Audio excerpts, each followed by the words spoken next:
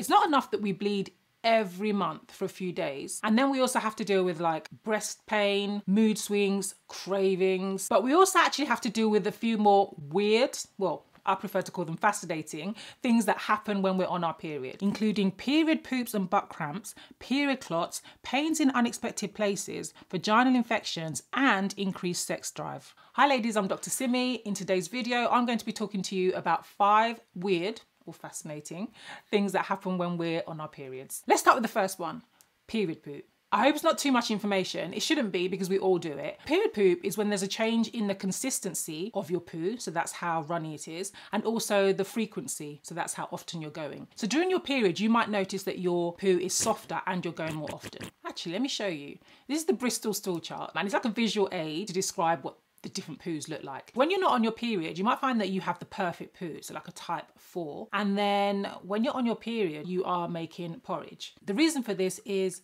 prostaglandins. Prostaglandins are chemicals that are made by the uterus and during your period they help your uterus to contract so that it's expelling like the contents of your period, you know, the blood and the endometrial lining. But prostaglandin can also travel to and work on the muscle in your bowel. And when that happens, your bowels move more quickly. Your food passes through your bowels more quickly, which means it doesn't have as much time to absorb the water and you end up with period poo. It's actually quite temporary and after your period is finished then usually your poos will go back to normal. These prostaglandins can also cause trouble with your anal sphincters which are your anal muscles because they cause it to contract and tighten and you literally do feel that as an anal cramps which can be quite uncomfortable and painful. If you're getting this frequently then do speak to your doctor because there can be other causes of anal cramping such as endometriosis. The next one is period clots. So period clots are clumps of blood which look like a jelly-like substance that sometimes deposit themselves on your pad or tampon when you're having period. And you're more likely to get them if you suffer from heavy periods. They're basically just the lining of your uterus, which is the endometrium, breaking away during your period, or sometimes it's because you've got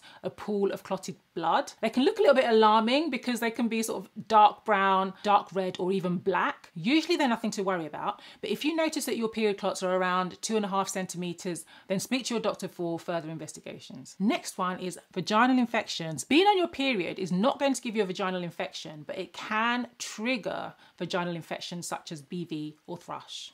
Vaginal pH is acidic, it's about 3.5 to 4.5, but period blood is actually pretty neutral, so the pH is about 7.5. So when you're on your period, the blood is going to change the environment of your vagina by making it less acidic. So now that it's less acidic, this is a perfect opportunity for candida or anaerobic bacteria, which might be living there normally but in small numbers, to overgrow and basically take advantage of the fact that the vagina is less acidic. And if it's the bacteria that overgrows, then you can get BV. And if it's the candida that overgrows, then you can get thrush.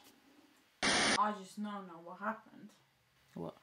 So basically, the lactobacilli died because the BV killed them off. No, it's more like vagina's there just getting on with its life, enjoying itself, all acidic. The acid is like killing off all the bacteria. Then the period comes along and makes everything neutral.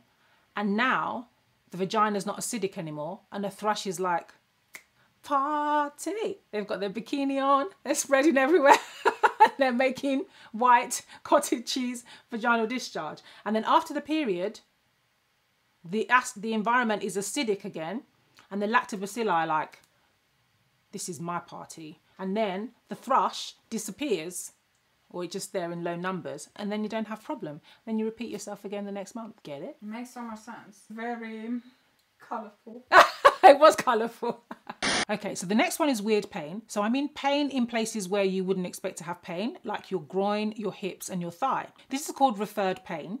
And referred pain is pain that starts at one site but then is felt at a different site. So the pain starts in your uterus but you're feeling it in your back hips thigh or groin. This happens because the nerves from the T10 to L1 segment of your spinal cord, yes, we're taking it there because we're medical, um, these nerves supply the cervix and the uterus. So period pains in these organs are also transmitted to the areas of the skin that are supplied by the same spinal nerves. So that's the area between your belly button and your thigh. The next one is increased sex drive. A few studies show that women experience an increased sex drive before their period. Usually it's around the time of ovulation, which actually coincides with when you are are most likely to get pregnant. So it's thought that it's because there's a peak in the level of hormone estrogen, also an increase in the level of testosterone, which actually increases your sex drive. So if getting pregnant is not part of your plan, then you need to make sure that your contraception is watertight. So there are some women who report that actually they have an increased sex drive on their period. And there are a few theories about this, including increased blood flow to the genital and pelvic region, which might help to